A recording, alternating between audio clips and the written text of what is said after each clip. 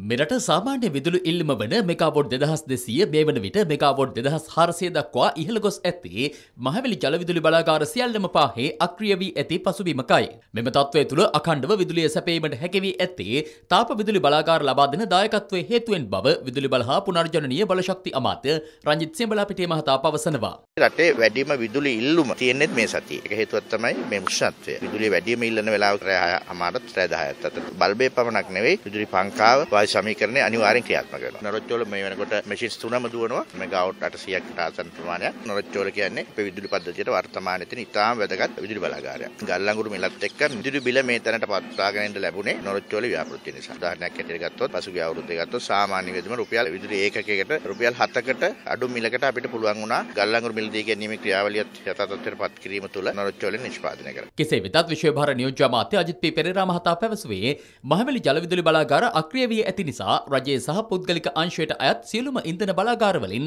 මේ වන විට විදුලි බල මණ්ඩලය විදුලිය මිලදී ගනිමින් සිටින බවයි.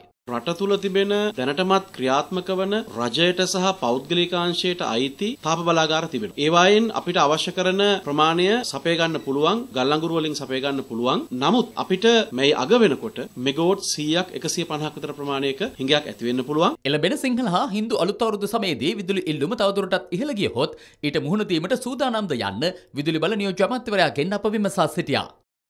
අලුත් අවුරුද්ද කාලේ අකණ්ඩ විදුලිය සැපීම ලබා දීම අපේ යුතුයකම. ඒත් අලුත් අවුරුද්දකාරී කර්මාන්තශාලා වැහිමත් එක්ක ගෘහස්ත විදුලිය පරිභෝජනය වැඩි වුණත් යම් ආකාරයක තුලනය වීමක් ඇති වෙයි කියලා අපි බලාපොරොත්තු වෙනවා. ඇත්තටම අපිට අර්බුදේ වඩා තීව්‍ර වෙන්නේ අලුත් අවුරුද්ද කාලයට වඩා වෙසක් කිට්ටු වෙනකොට. මේ මාසේ තමයි අපිට ලොකුම අර්බුද වෙන්නේ. වැසි ප්‍රමාද වෙනවා. ඒ වගේම පරිභෝජනය ඉහළ යනවා. මේ තත්ත්වය අපිට අනිවාර්යයෙන්ම ගැටලුවක්.